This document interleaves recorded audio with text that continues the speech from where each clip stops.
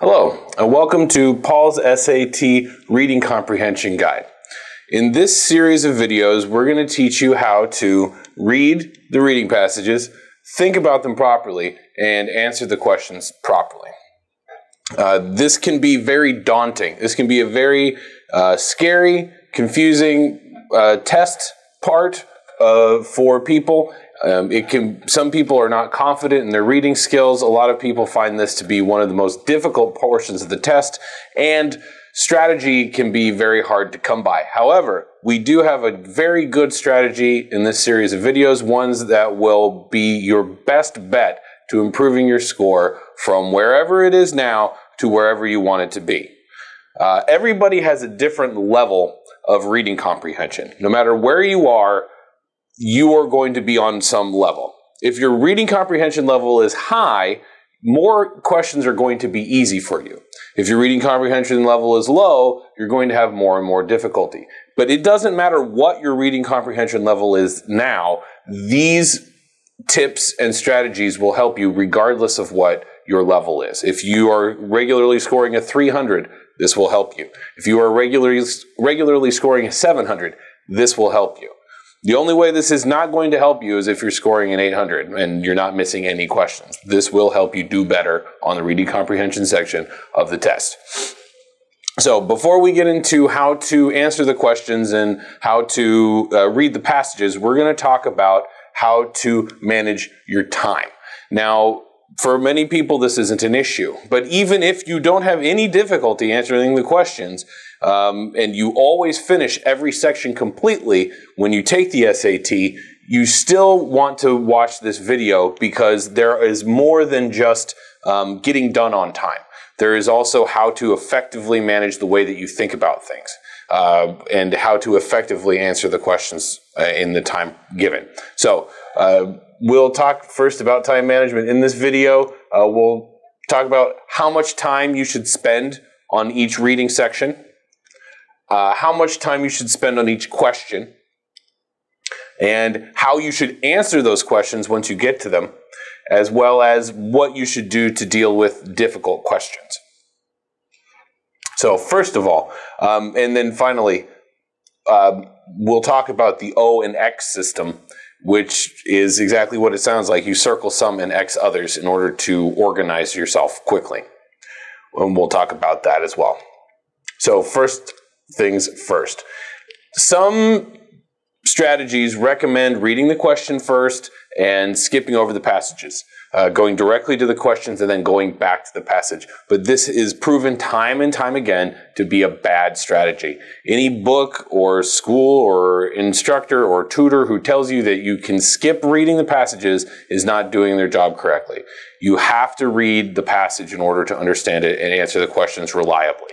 Um, if you don't read the passage, you can't make the connections that you're going to need to to be able to answer the questions effectively. The people who make the test know that you can just go right to the question.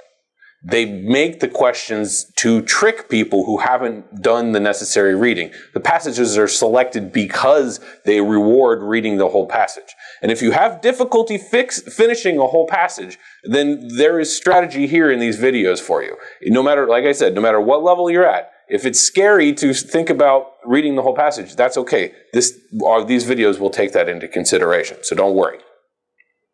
Um, in, in fact, if you go straight to the questions, you're actually wasting time. Turning the page back and forth, back and forth. Uh, this one says the line's 26 and here, and then you're constantly comparing information and making mistakes, and it's really faster to read the passage first.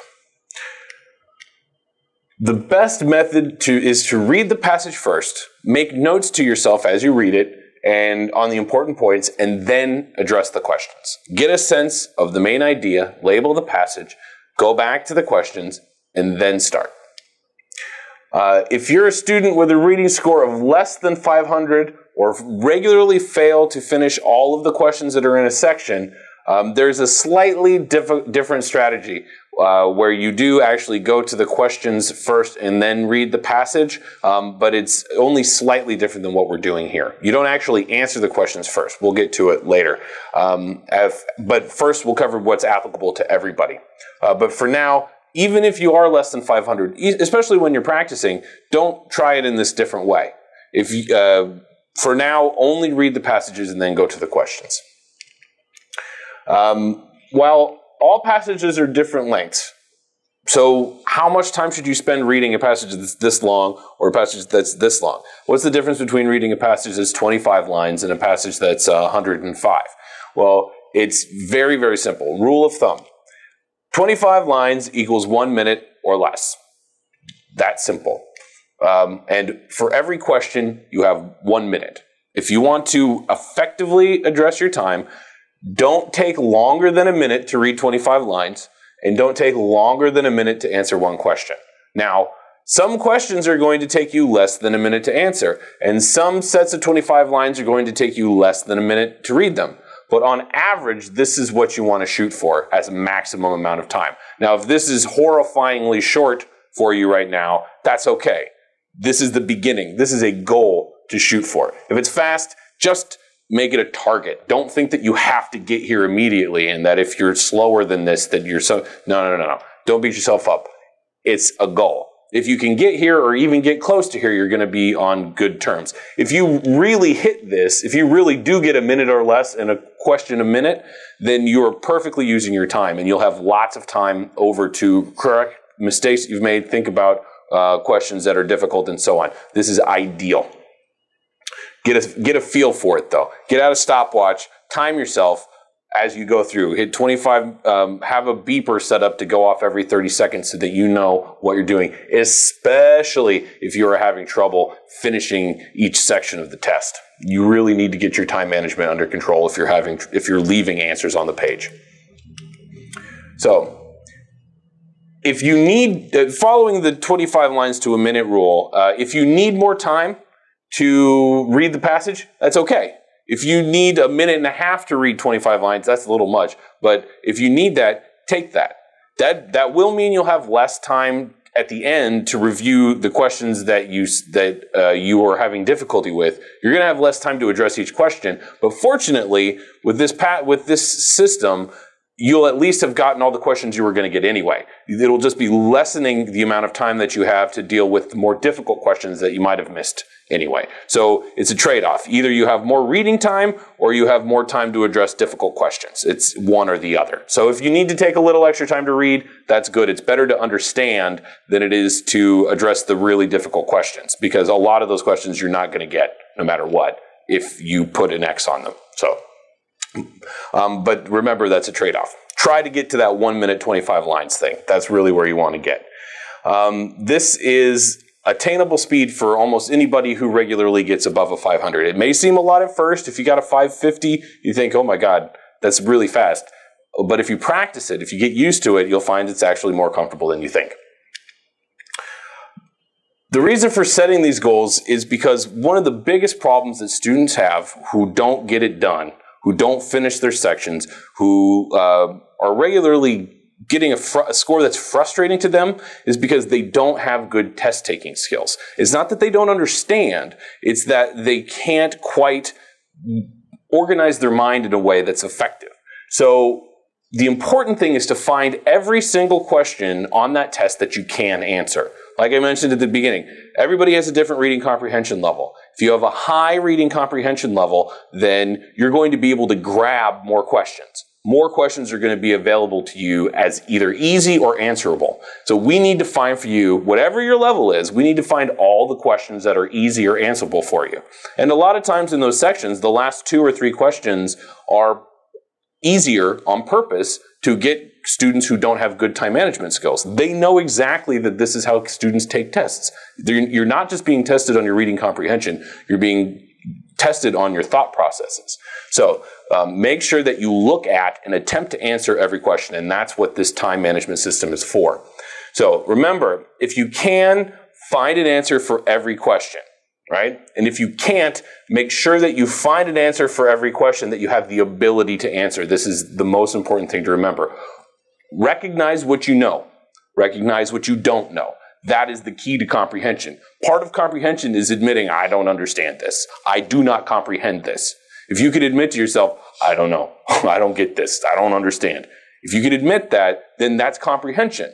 And if you admit that I don't understand this sentence, then you can skip it and you can work around that sentence. If it's that sentence in this passage is extremely important, then you'll know, well, I need to figure out what that sentence is saying, even though I don't know all the vocabulary words in it. The better you get at that, the better your score is going to be. Even if you struggle with vocabulary and you struggle with grammar, no matter what, if you can understand what you don't understand, then you're going to do better. So, in order to accomplish this goal, you want to survey all the questions first. Um, what, what you'll do is read the passage, taking the one minute for 25 lines. So if it's a 100 minute question, a 100 line question, then it's going to take you, it should take you four minutes out of the 25. And then take 30 seconds per question maximum to look at it. All right, we're going to go through a practice session of this, but go through 30 seconds per question the first time through all the questions, right? And if you can answer it, answer it right? The, through that first 30 second run, if you can answer the question in 30 seconds, if it's an easy question, go ahead and answer it, right? If you're confident with your answer, if you're pretty sure, yeah, I got that one right. I know that's right. Mark it with a circle, right? If you're not sure if you got it right or not, mark it with an X, okay?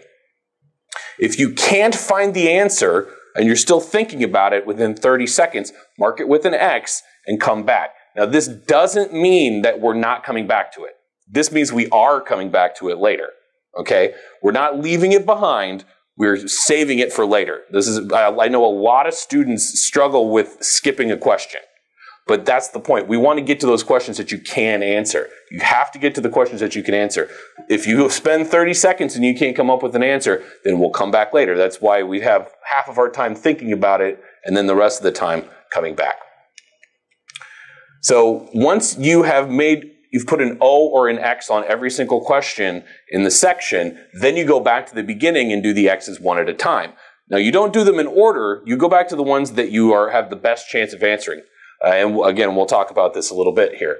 Um, this way, none of the answers that you can answer are left behind. And this is immediately, if you do this and you don't leave any questions behind, this is immediately going to raise your score um, by who knows how much. But if you stop leaving questions unaddressed, your score will immediately increase by an untold number of points because there are often questions that you leave behind because you ran out of time that you could have answered. And this takes care of that right away.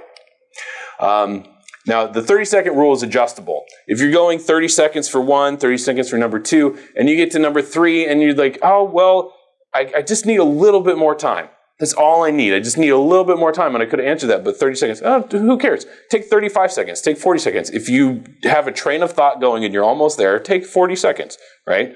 But the most important part of this is knowing what you know and what you don't know. Knowing when you're stuck. When you read that thing and you're taking 30 seconds and you still have three question choices left, and you know you're going to have to bounce back and forth between the passage and the question, and the passage and the question, and you have to do process of elimination, and it's going to take you more than 30 seconds, then just, oh, this is going to take me a lot of time. I'm going to X this and come back. Now, we'll show some examples here. Um, let's take a look at one example.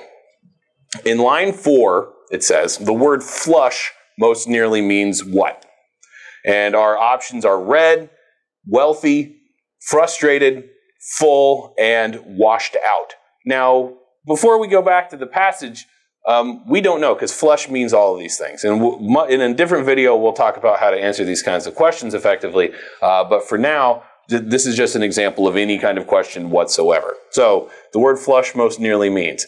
We go back to the passage. In the passage on line four, the sentence in, in uh, question says, His cheeks were flush like cherries with excitement. Okay? Now, this is not a difficult question or hopefully not a difficult question. Uh, flush, cherries are red. Well, we got red as a choice. His cheeks were red like cherries. Makes sense. We're very confident that the question, the correct answer is A. So under 30 seconds and possibly under 10 seconds, you've answered this question. Just boom, red, easy. Circle it and move on. You never have to look at it again. And those 20 seconds that you didn't spend here go towards another harder question. Right? It just spreads out after you've already looked at all the other ones. Now, another question is more difficult, right? Um, for example, the author's discussion of a terrible dinner in line 15 is either explains his opinion, reveals his confusion, introduces a new character, explores an interesting digression, or finalizes a, a line of reasoning. Now, this is harder right? You have to go back to the passage. Now, we're not going to look exactly at the passage, but this is, again, just an example. You have to go back to line 15. You have to think about this uh, discussion of a terrible dinner. You got to think about what it's doing. You got to think, is he explaining something, revealing, introducing? Uh, what is he doing? It's going to take you longer than 30 seconds. But you go ahead, you use that full 30 seconds. You're like, I understand this. I see what's going on. But you know you're going to have to do process of elimination. You're going to have to check all of these things, right? So you, you spend the 30 seconds and you, re- you remove A. You know he didn't explain his opinion. You know he didn't introduce a new character. Um, you think maybe he's revealing his confusion. You think maybe he's exploring an interesting digression, and, and uh, you can't quite figure out E. But in your mind, you've got a mental clock that says, oh, "I've spent too long on this. I need to move on. I'll come back." Right, and then you remove E, and you're like, ah, fine, all right, I can do this one. This will be the first one I come back to. Uh, so you circle a, ch- a, preliminary choice. You say, I, am pretty sure it's D. I'm going to move on and come back and verify. So you X that one and say, I need to think about this for a little bit longer. You've made your choice. You didn't waste any of your time, but you you've saved this one for later. Right? And uh, you do this one first when you come back the next time. Now, the third type of question you have a really hard time understanding. You're not even sure what it's asking. Some in line 45 would feel what way about the author's dog? Uh, happy, happier, sad but happy, happy but sad. The dog is a trick. This is hard. Okay, this is not a real question. This is just an example of something that might be extremely confusing. This is really hard. Oh, happy, happier. What? I, I just don't understand. What is going on? So you this is a really good skill to pick up. You see a question, and your first 30 seconds through, you're like, Dear God, this is impossible. To recognize questions, especially recognize questions that you know you are never going to be able to answer, no, it might be hard to admit, but there are questions, depending on your level, that you are literally going to be unable to answer. You go back to line 45, you look at it and you're like, oh, geez, I don't need, this was the whole paragraph that I could not understand right? I know that I don't understand this. And I don't even, there's a dog in that paragraph. I didn't even see a dog in that paragraph. I don't even understand. So you immediately X that question. You spend no time in that first 30 seconds trying to crack it. You just go, you understand, I don't get this. If I have time, I'm going to try to break this, but only if I've answered all my other X's.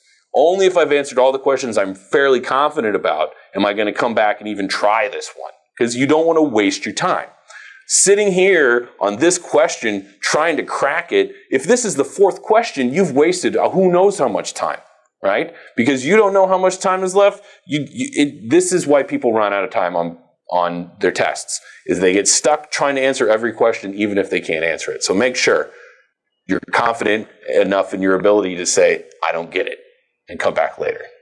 All right. So let's go back to the question that we were confident about the author's discussion of a terrible dinner. Where we come back, we're pretty sure about D. Um, you take your time, you go through all the other, you marked O and X, you've gotten to the end of the section, and you go back, okay, I've got all my circles, now it's time to go back and do my X's, right? You go to the X's and you remember that you came to this one. You're like, ah, okay, I'm pretty sure about this one. You go back, you take 10 more seconds, 20 more seconds, you go back to the passage. Yep, for sure. It's definitely D. You double check it and you're 100% confident. So you circle it. Now, on the test, this is entirely unnecessary. You're going to say, why did I change it? This is entirely unnecessary on the actual test. But when you're practicing, when you're taking practice tests, you really want to keep track of how many circle questions you have and how many X questions you have. Now you can you can circle uh, you can X a question and answer it on the sheet and leave it an X if you're not sure. Any questions that you're not sure about, even if you answer them, you should leave an X. The import, what you're trying to do is get 100% of your circle questions right and 100% of your X questions wrong. Now you can answer an X question. You can leave it X and write down D and you got B. Okay, that's right. You didn't know. You knew that you didn't know, right? The purpose of marking the questions like that is to make sure that you're aware of what you know and what you don't know, right? If 100% of your X questions are zero or O, if 100% of your O questions are correct, good. 100% of your X questions wrong, good. If you're getting a lot of O questions wrong, then you need to slow down. You need to be aware that you're not answering the questions to the level that you think you are. Something is going wrong and you need to chill out. You need to rest because you thought you were right, but you were wrong, right? And the same thing goes for the X's. If you get a lot of X questions right, that means you're, you should be more confident. You can maybe speed up a little bit, have a little more faith in yourself, take a little more time on other kinds of questions, right? That, that means the ones that you think you're getting wrong, you're actually getting right. So have a little more faith.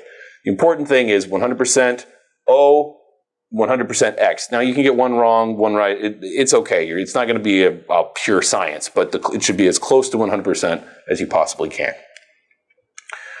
So, most important thing to remember about answering questions. Always read the question first and then return to the passage to come up with your own answer before you read the answer choices. I've said it in every other video that I've done. The most important thing you can do is come up with your own answer first. I'm going to repeat it a lot of times in these videos. And if you know it, if you understand it, that's fine. But it's so important, I'm just going to not stop talking about it. If you read the answers first, if you get to that question and you read, the author said something about a terrible dinner and you read A, B, C, D, and E, and you read each of the choices before you go back to the passage, A, that's a waste of time. You don't know anything yet. You haven't come up, what is reading the answer choices going to do for you other than pre-influence your decision, right? Your mind subconsciously knows that one of those choices is correct. And even though you haven't done any reasoning whatsoever, your brain thinks it knows. Your brain thinks it's solving the problem. And sometimes it's going to be right. Don't get me wrong. Sometimes you're going to know the answer without even going back to the passage. But then other times you're like, well, D sounds pretty good. I think I think D was pretty good. Yeah. I'm gonna I'm gonna think it's D. I'm gonna go back to the passage and I'm gonna check, but I'm pretty sure it's D, and it's definitely not D. But your brain knows. Your brain thought, well, but I said D. Well, why not D? Maybe it is D. And so you make up an excuse for yourself. Look, but I thought D D sounds still pretty good. I thought D was pretty good. And you're full of it. But your, your confidence, your ego is overriding your logic. If you pick the answer choices first, you will waste your time. You will convince yourself that you are right when you're wrong or vice versa. So don't read the answer choices first. That's what I always say. I say they are dessert. You have to eat your meal of thinking and reasoning before you look at the answer choices. Now, again, don't get me wrong. Sometimes you're going to have to read the answer choices because you don't even know what the question's talking about. You go back to the passage, you read it, and then, okay, I don't get it. And then you have to read the answer choices. That's usually a process of elimination question when you really can't come up with your own answer from the text. But for the most part, you really want to come up with your own answer before you read the answer choices. Number one rule, if you can get good at that, that's going to increase your score. We'll talk more about that a little later. So, in summary, to most effectively use your time. 25 lines of the text is, equals one minute of reading. And for each question, read it, go back to the text, find the information you need, come up with your own answer to the question, then read your answer choices. In fact, if you do that, you'll usually spend a lot less time making your decision if you do that too. 30 seconds per question the first time, marking each question an O or an X, then returning to the X questions and getting them right and spending your time effectively amongst the questions that you haven't yet answered. That's it. This is strategy right here. The rest of it is reading properly, which we'll talk about in the next set of videos. So, first, pause the video, stop for a moment. I just recapped it, so you maybe shouldn't need to stop the video, but if you need to think about it, how much time should you spend on reading? Pause the video and give the answer. Well, you need to spend 25 lines uh, for each 25 lines, you need to spend a minute or less.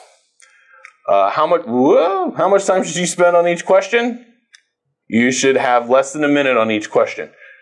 how should you answer the questions? This is the important thing. Like I said, I'm going to harp on it. Which, how should you answer the questions? You need to spend 30 seconds or less the first time and then return to the difficult questions. And how should you deal with difficult questions?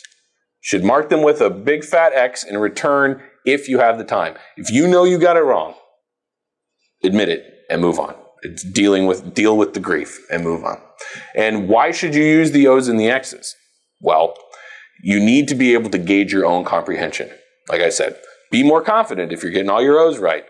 Um, if you're getting a lot of your X's right, be more confident. If you're missing O's and you're missing X's, then you need to slow down and chill out because you're not as smart as you think you are. Okay? So take it easy if a lot of O's are wrong. That's very important. Now, from this point, if you have a score above 500, go ahead and move on to the next video. If your average score is over 500, don't worry about it. Um, move on to the next video. However, if you're scoring below 500, then you need to watch this next part because the strategy is slightly different with the O's and the X's. So if you're below 500, keep watching right now. Um, then we need to adjust slightly. Okay. So just stick around for another minute or two. If your reading comprehension score is very low, uh, then even if you fall, if you try to read the whole passage, then even doing the 30 seconds per question might be a little bit too much time. If you're under 500, you're spent you're going to be taking a lot more time than people over 500 to answer the question. So we need to make sure you can get all the ones that you possibly can. Um, and in, even if you use the system, if it just takes too much time. So in this case, then you look at the questions first and make a little map in the passage. And then you read the passage and go back to the questions that you can answer. And we'll talk about that here. So when you see a new passage, don't read it first. Go directly to the questions. You're not answering them first. But what you are going to do is find any questions that have a line reference number, like in line four, in the third paragraph, in uh, lines 43 through 44. Mark them. Draw a little line. If it says lines 56 through 75, draw a little arc that marks it out. And then write the uh, question number that deals with that part of the passage right next to it. Okay, so if it says line four, if question one says in line four, whatever, go to line four and write question one.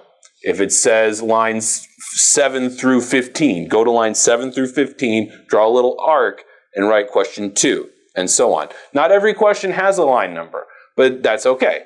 Just any ones that do. And then uh, go back.